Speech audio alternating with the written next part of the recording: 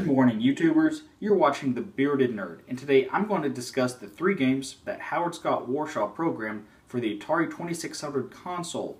Those three games are Yar's Revenge, Raiders of the Lost Ark, based on the 1981 blockbuster film from Steven Spielberg and George Lucas, and another game based on one of Steven Spielberg's movies, but I think I'll leave this third one for last. Let's just say it's not one I'm looking forward to. So, who is Howard Scott Warshaw? Well, as Warshaw himself put it, he is Colorado born, Jersey raised, and New Orleans schooled. Warshaw attended Tulane University, double majoring in math and economics.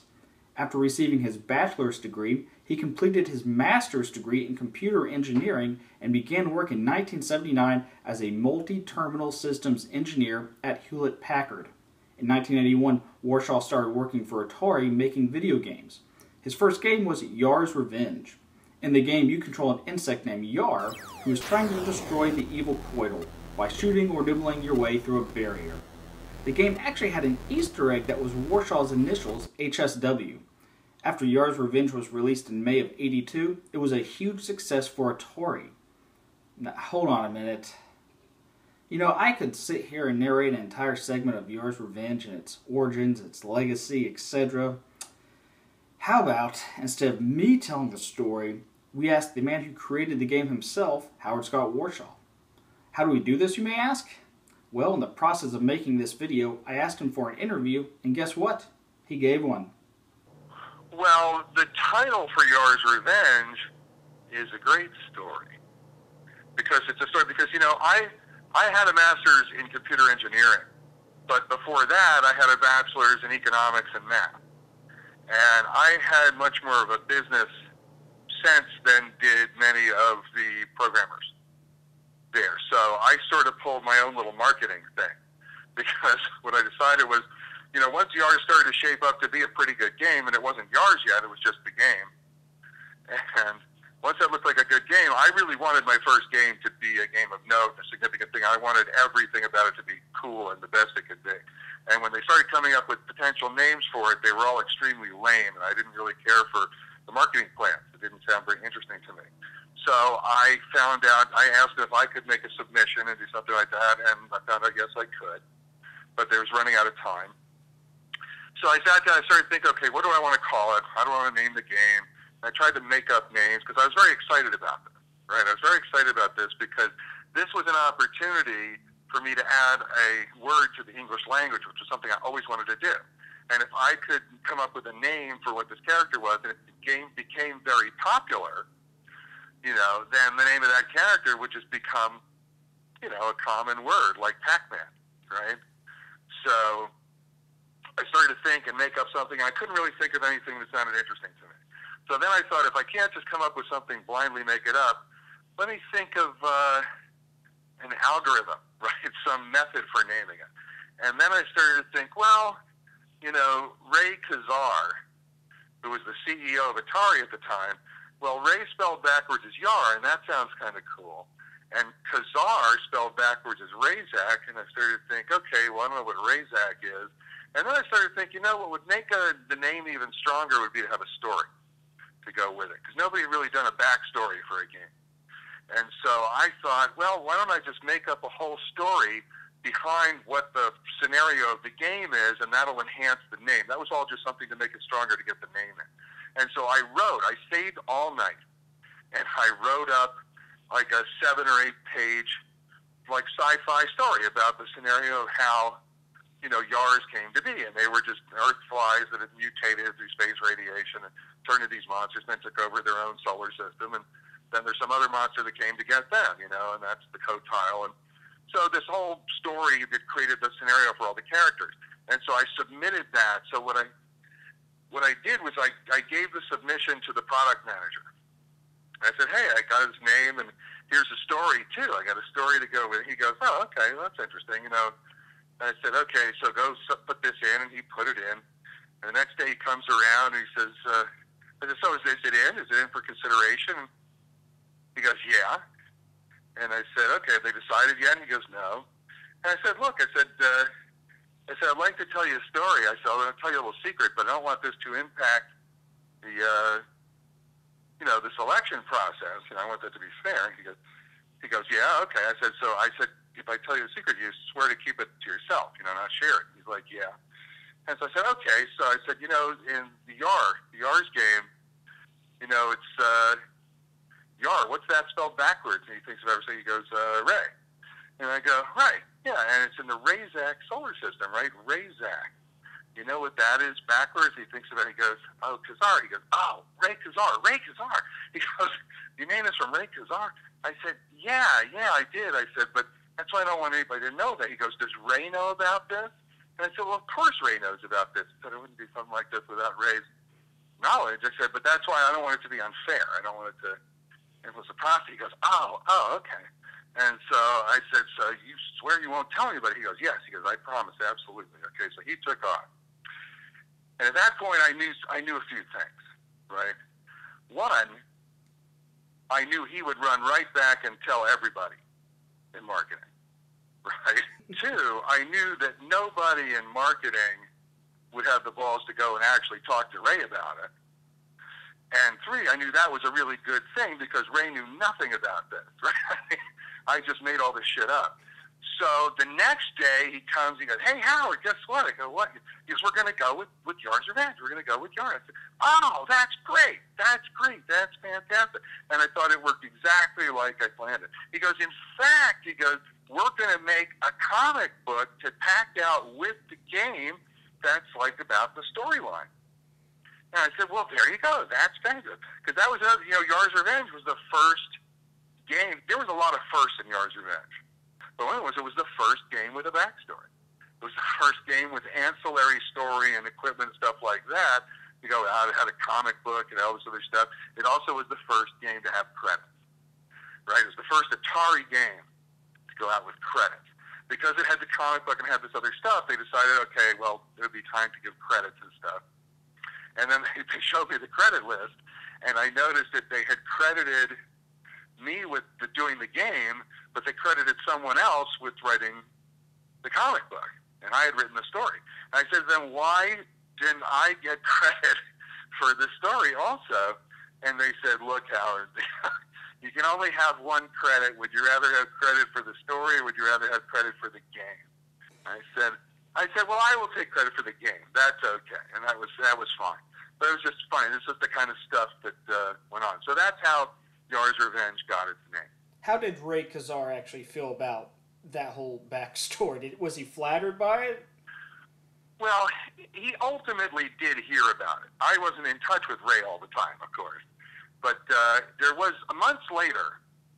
There was uh, there was a press event where we were demoing games for the press, and I was there, and Ray was there, and I was demoing Yar's Revenge on this giant big screen TV when big screen TVs were brand new. You know, you had the projection TVs, and uh, so that was pretty cool. That was the biggest TV I ever played Yars on. And uh, I sit there playing the game, and Ray comes up, and uh, he looks at me. He goes, "I heard what you did about the name for this game, Howard." I said, "Oh," I said, "Yeah." I said, "Well," uh, I said, "What'd you think about that, Ray?" he says, uh, "He goes, just keep making games, Howard. You know, you just keep making." kind of an interesting moment with Ray. Ray was an interesting guy. The game was well received by fans, and even to this day, many consider it one of their favorite for the system.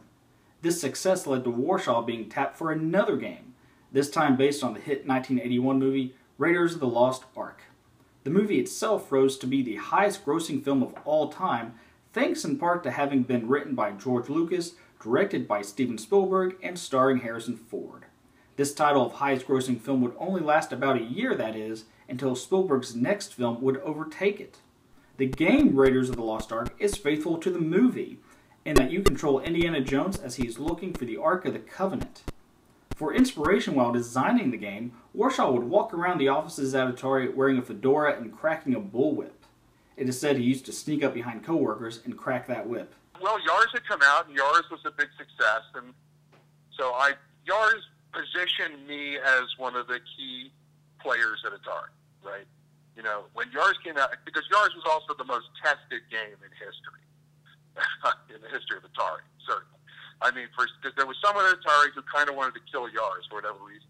They kept asking for test after test and saying because they said there's a problem with it and we have issues with the game and there's a problem with the game and you know most people didn't really see a problem with the game and most of the people in management never played the game. They didn't do anything with the games, right? They were just managing.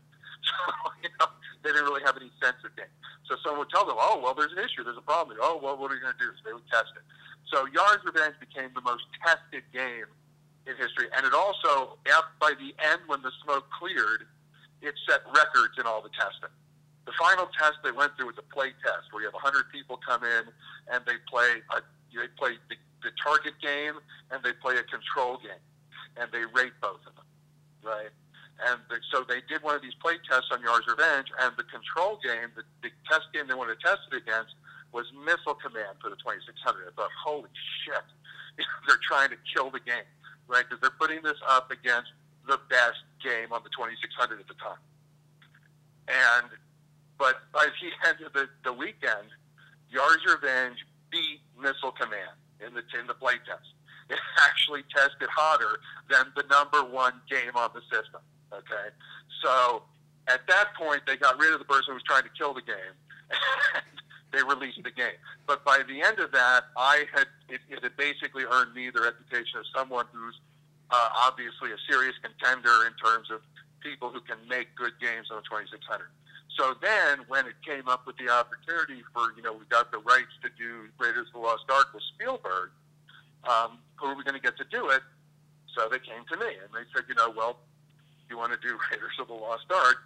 And I said, well, sure, that'd be kind of fun. And then they said, okay, well, Spielberg has to approve the programmer for that. So I had to fly to LA and do an interview with Spielberg to see if he felt I was a person who should do his game. And we had a really interesting time together. And uh, by the end of it, I had called him an alien, and he uh, and he decided I was the one who should do the game. So then I did Raiders. Upon release in November of 82, the game did have some critics who said the graphics were just average and the sound effects and music were, in their words, non existent. However, most felt the game was original in its design and gameplay.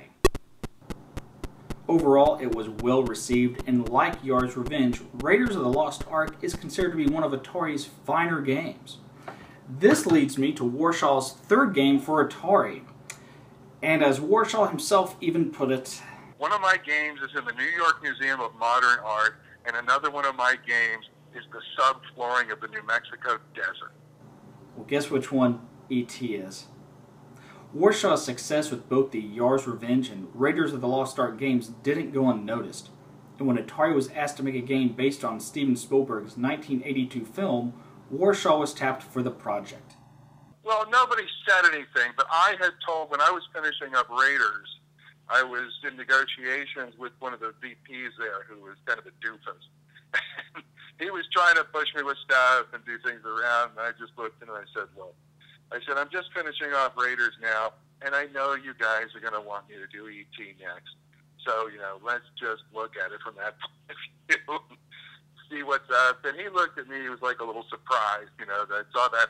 And I hadn't heard anything or knew anything, but I mean, of course, you know, it's like you know, Raiders is a big movie, and E.T. is now the big movie that Spielberg put out. And if they had a movie game for one, of course, they want to do a game for the next. And odds are they'll want me to do it. so it's like, okay. The movie E.T. surpassed Spielberg's previous film for title of highest grossing film and would keep that title for 11 years before yet again another Spielberg movie would take that title. Negotiations for securing the rights to even make the game only ended in July of 82. The game itself was scheduled for release during the Christmas season later that year. To accomplish this Christmas 82 deadline, this meant the game had to be 100% completed by September 1st. This only gave Warshaw five weeks to make the game. Wait, what? Five weeks? If that doesn't sound like a lot of time to design and develop a game, it's because it wasn't! The average time span it took to even develop a game for Atari back then was six to seven months. But both Atari and Spielberg himself had confidence that Warshaw could develop a game in that amount of time. And then when it turned out, that there was only five weeks available to do the game, and that Spielberg had requested I do the game personally, then uh, you know that got to be a whole other story. Did you ever feel like you were in over your head during those five weeks? Not once. Not once. Never even occurred to me. Uh, there was a reason why the release date was September 1st. That was because you know, that's all backtracking from manufacturing to be able to make it for the Christmas market, which was the number one thing. So trying to tell them to delay it was like saying, why don't we just miss some of the Christmas market? And their feeling was if they couldn't release it until like late December, there's no point in doing the game. Because, you know, their feeling is you have to strike with these things when they're hot, and this was it. This was the window. There was five weeks to do the game. That's all there was. I never once thought, oh, I can't do it. I totally had 100% confidence I could do it. This decision to rush development led to some serious issues with the game itself. For starters, Atari skipped audience testing the game. Warshaw did meet with Spielberg to discuss the design and structure of the game, which was divided into four ways world, objective, path to achieve the objective, and obstacles. For the game's setting, Warshaw envisioned a three dimensional world in the shape of a cube, with E.T. trying to phone home as the main objective. The original plot was for having the player play as E.T. while finding and assembling a phone, then going to a special location to use it to call his ship. The enemies of the game would be characters from the movie, such as Keyes, other scientists, and the FBI, who are all trying to capture E.T. Pits were devised as a means to hide the phone parts that E.T. would have to find. After Atari and Warshaw presented this design to Spielberg, it was reported he did not seem enthusiastic and requested a plot much more along the lines of Pac Man. Wanting to capture the sentimentality he saw in the film, Warshaw proceeded with his originally proposed design for the game. In my interview, Warshaw described Spielberg's involvement with either the Raiders game or the E.T. game as something like this. I don't think Spielberg ever played the game. Spielberg didn't have a lot to do with the games that I made from his movie. What would happen is occasionally he would come up to Sunnyvale and uh, we would have lunch together and we would chat and I'd show him a little bit of this and that with the game. He really didn't have much to do with the games at all. He was a pretty busy dude. I, you know, he made over a million dollars a day through 1982. That was a good year for him. But occasionally he would come by and we would chat and stuff. But what did happen was at the end of when when I was finished with Raiders, and this was like in June in '82 and we were coming up to this. You know, back then there was the Consumer Electronics Show. They didn't have you know E3, right? There was the Consumer Electronics Show, and that's where all the video game stuff was. And the Consumer Electronics Show back then was like twice a year, and it was in January in Vegas, and it was in June in Chicago. Okay, so we were coming up to this to that CES, and they wanted. So we what we did was, I went to a studio. I went to a film studio, and what we did was we made a video of me playing through the game. So I made a video of a, a playthrough of Raiders Lost Ark where I sat down, played, and narrated the game. And it was probably the only time, we did it in one take. It was probably the only time ever that I played perfectly right through the game and narrated the whole thing along the way. It was just amazing. I don't think I could ever have done that again. But it just was magical. It just worked. So I did this whole thing, a playthrough. I played through the full game perfectly, all the way through, finished the game. And to actually play the whole game and just run through and do all that takes about 12 or 14 minutes. That's all it takes, just run through Raiders. Especially so, if you know how to how to do everything. right. That helps. And so, right, because an adventure game is about learning how to play the game, not just running through the game. So so I got that together, got this videotape together, and I like practically handcuffed the videotape to my arm because I wanted to show this to Spielberg. So we got to Chicago, and I'm running around the tape, and eventually he shows up at the Atari booth, and here we are. So we go upstairs in the special room, and we plug it in, and I play the tape for him, and he just watches the tape. Now I am a huge movie fan, so for me to hang with Spielberg in the first place is like an amazing opportunity. I'm super psyched right, to be dealing with him anyway. And now he's watching through the whole thing, and he's not doing anything. He's just sitting there watching. No reaction, no response. And then at the end of it, when it's over, he looks at me and he goes, it's just like a movie. And I felt so good. That was one of the amazing moments of my life. Is that I did the game for Spielberg's movie, and then I show Spielberg a videotape of a playthrough of the game, and he thinks it's just like a movie. And I just thought, yeah, I did it. Because that was a tremendous feeling of accomplishment that, that, that I was right on target with what I had there. And so that was very cool. Like Warshaw mentioned earlier, one of his games is actually in the New York Museum of Modern Art. In 2013, Yar's Revenge was selected alongside a number of other games such as Pac Man, Space Invaders, and Pong under the exhibition titled Applied Design. As for E.T., well, the story doesn't end well. While the game did sell 1.5 million units, it also left an estimated 3 million units unsold. Plus, there were a number of consumers who returned their cartridges. In the end, Atari ended up receiving around 4 million unsold cartridges from retailers. Not sure what to do with this excess inventory, they began to look for viable options. Ultimately, they opted for dumping all the unsold ET cartridges as well as other excess inventory in a landfill in New Mexico. For years, this story just served as an urban legend.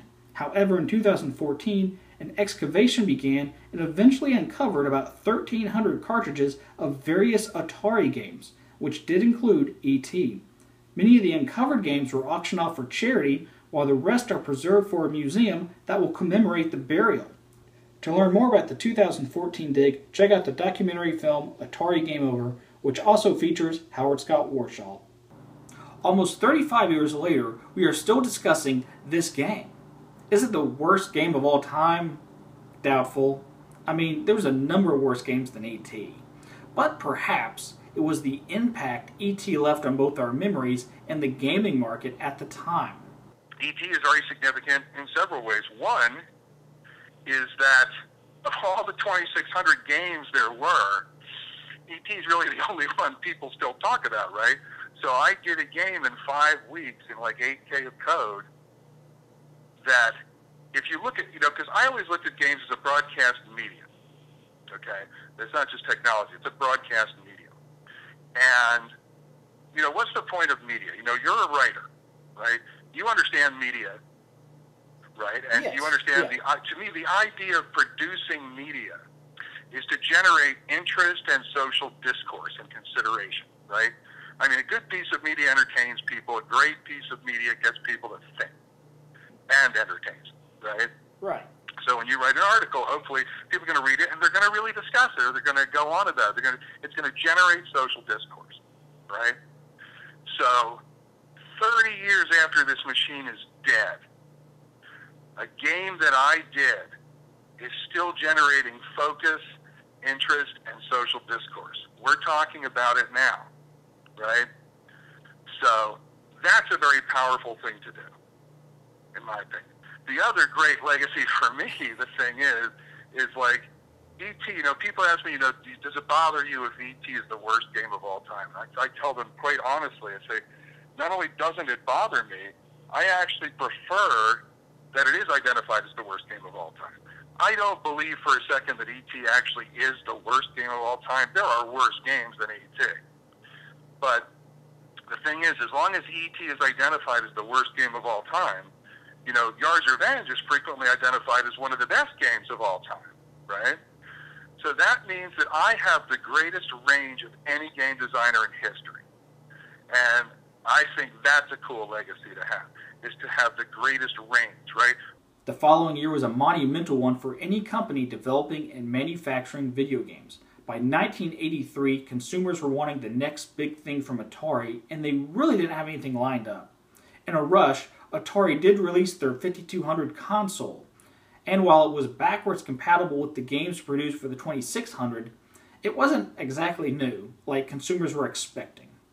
The system itself was really only composed of the same parts from Atari's 400 and 800 model computers.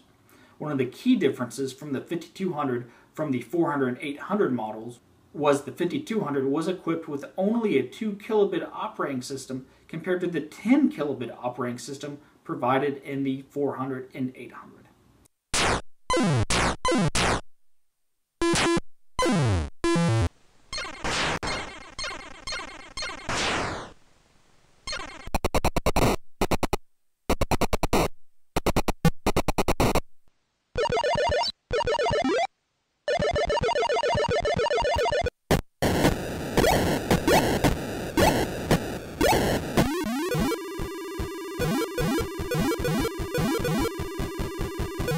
While the 5200 did end up selling over a million units, that was just not enough to satisfy the taste consumers had for video games.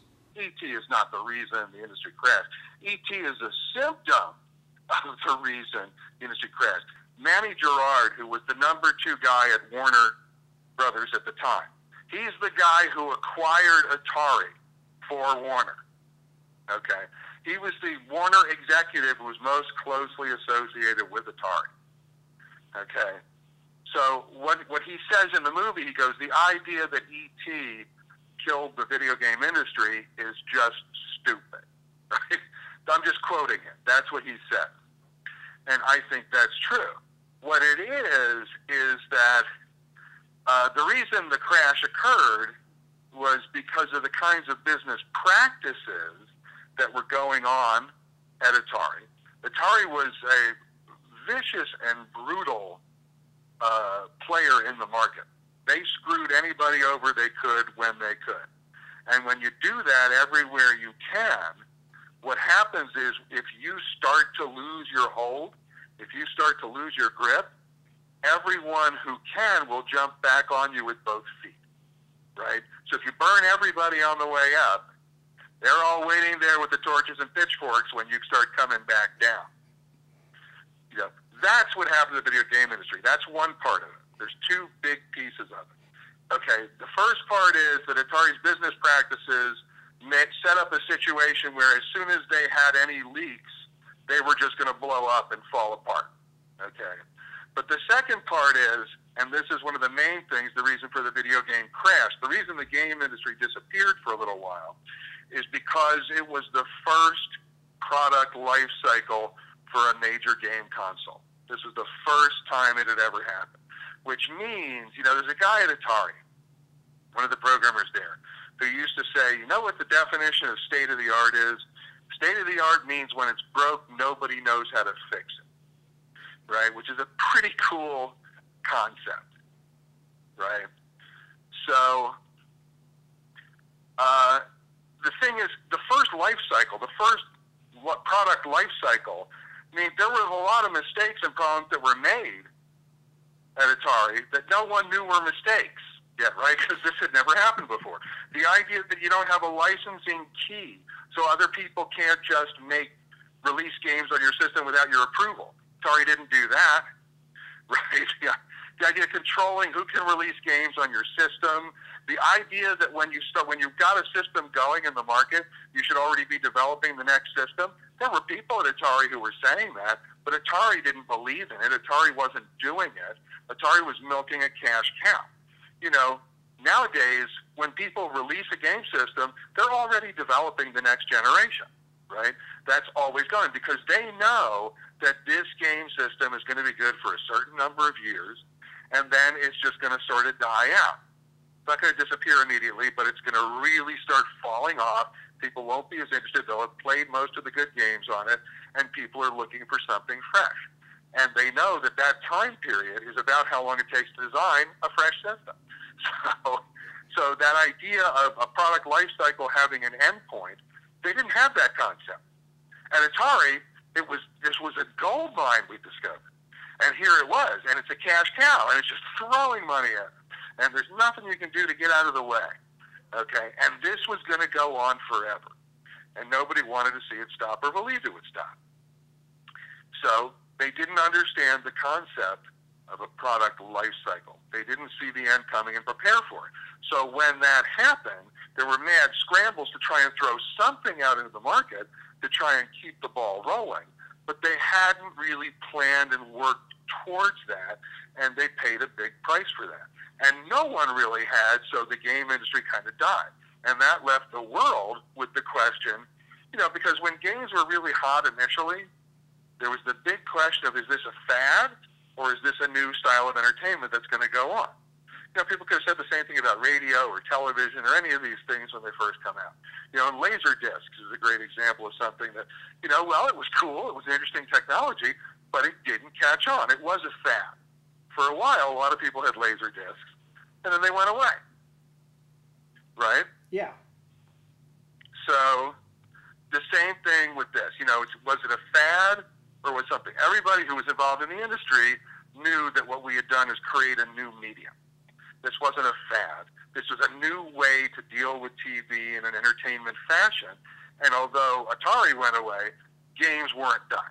You know, the idea of playing video games on a TV, that was not going away. But there are a lot of people who thought it might. And so when there was a lull in the market, there were two kinds of people, right? There were people who go, oh, well, that's it. It was just a fad. It's over. It's another pet rock. Oh, well, what's the next thing? And there are other people who go, wow, Atari really blew it, and they lost track of the market, but this is a huge market, it's a huge industry, and we're going to pick it up and do it. And that's what Nintendo and Sega did, and they jumped in where Atari missed it. To listen to the full hour long interview with Howard Scott Warshaw, the Silicon Valley therapist, click the link in the description below or find it on our YouTube channel, One Man Films TN. And be sure to click the link to his website below as well, although something tells me his site gets a few thousand more hits than mine. Uh, that is it for this episode of The Bearded Nerd. Thanks for watching. Click the subscribe button if you want to keep up with future videos and feel free to write hateful comments below. See you next time.